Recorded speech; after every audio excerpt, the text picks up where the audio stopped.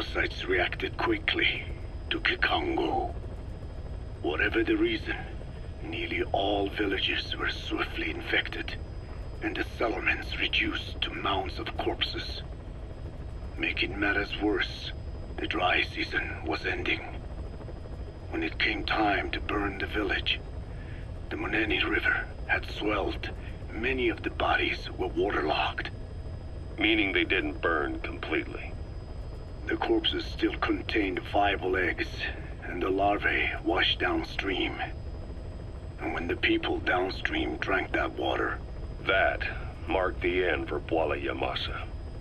I learned all of this at the mansion. I warned him of the risk of eggs getting out. And? We are prepared for any eventuality. I get it. Hmm. Putting the oil field back online. The oil leaks, saner. They planned to pollute the river. Prevent the spread of infection. But the oil flow was stopped, and downstream the people of Masa village started using the water again. The PF soldiers deployed at the village were locals, spoke Kikongo. They were infected, and the kids survived. I've heard enough. And who stopped the flow of oil? Don't. We did. That confirms it. The source of the Kikongo strain infection was Masa village. And the children brought it here. It is no one's fault. There is no blame to be cast. The parasites, they were tested in other regions? Their physiology requires that they be tested under varied conditions. It was in Afghanistan. So it was the parasites there. Both the Pashto and Tajik languages are spoken in the mountains of Afghanistan, and population density is low. Ideal testing grounds for how accurately the parasites target only the specified language. It is also relatively easy to prevent the spread of infection. And the results? The first test, I am told, was a success. Once the Pashtun Mujahideen were infected with the Pashto strain, they were all but wiped out. The Hamid fighters at Smasei Fort. It was doubly successful. No Tajik Mujahideen or Soviet soldiers became symptomatic. So the parasites proved to be effective. What about the second test? Also supposedly a success. A Pashtun village was the target. However, the original aim was to obtain samples of the infected. In this, they failed. And the village? The Soviets enacted a standard scorched earth operation. That must have been the village where Malak lived, before being held captive at Lamar Khaate Palace. Having had more time to think on it, the details shared with me may have been false. They are madmen who would do anything to cover up the truth. They certainly seem to like tossing their problems in the fire. As a boy, Skullface's life went up in flames. Perhaps that is what fuels his fixation with fire. Your Wolbachia stopped the infection all right, but I still don't get it. How can a few bacteria change males to females? I know they're only bugs, but It is not such a rare thing in the natural world. Many insects and nematodes are infected with Wolbachia. but why? They nest in the cell cytoplasm of the host, even in the egg cells, with the result that the offspring are born infected. Mother to child transmission. However, Wolbachia cannot nest in sperm because they do not have cytoplasm.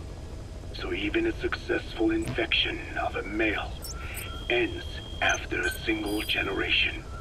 This means the Wolbachia must resort to maximizing the population of infected females. Sounds like an ethnic cleansing campaign on a tiny scale. Gender change from male to female is their survival tactic. So more females means more Wolbachia carriers so it can keep thriving in the following generations. But the parasites in a human host are supposed to be a mating pair. If there's no male, there'll be no offspring at all. It's killing itself. Slow down. This tactic is intended for environments where a single male can copulate with multiple females. Originally, the Wolbachia did not infect the vocal cord parasites. I created a mutated strain, modifying the Wolbachia so that it could infect monogamous pairs. The Wolbachia's greatest multiplying tactic, the male to female change, worked against itself in the monogamous parasites. Just as you said. Then I performed repeated selection of Wolbachia strains until I achieved a hundred percent certainty of male to female conversion. Creating female-female pairs, unable to reproduce. And you say the Wolbachia affects the host of the host, that is, us, cutting off our means to reproduce? It is almost certain. Of course, we will not turn female. After all, mammals possess no natural gender-changing function. But some Wolbachia strains can cause cytoplasmic incompatibility in the host. Is that some cell deformity? Put simply, it means the altered sperm of infected males kill the female's egg on contact. And that's happened to us? Yes. And yet, what occurs in humans is not just simple CI. To date, there are no cases of Wolbachia affecting humans. Hmm. The fact that this strain causes this effect, is it the vocal cord parasite's affinity with humans? I do not know enough to say for sure. So the parasite warps the host. Reminds me of what Skullface said. It is the way of all organisms to create their own optimal environment. Just look at you and this space. Organisms that cannot do this are doomed to extinction.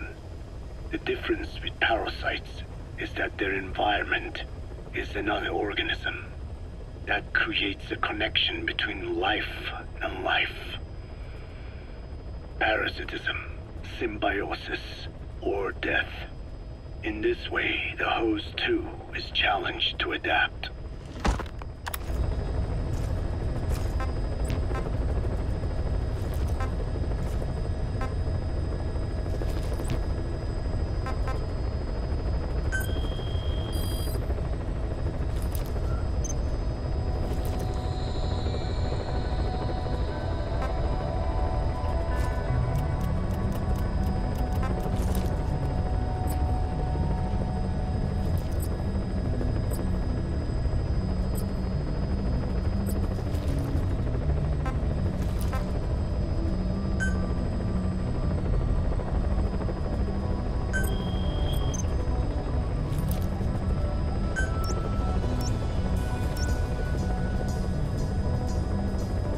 Heading to FOB.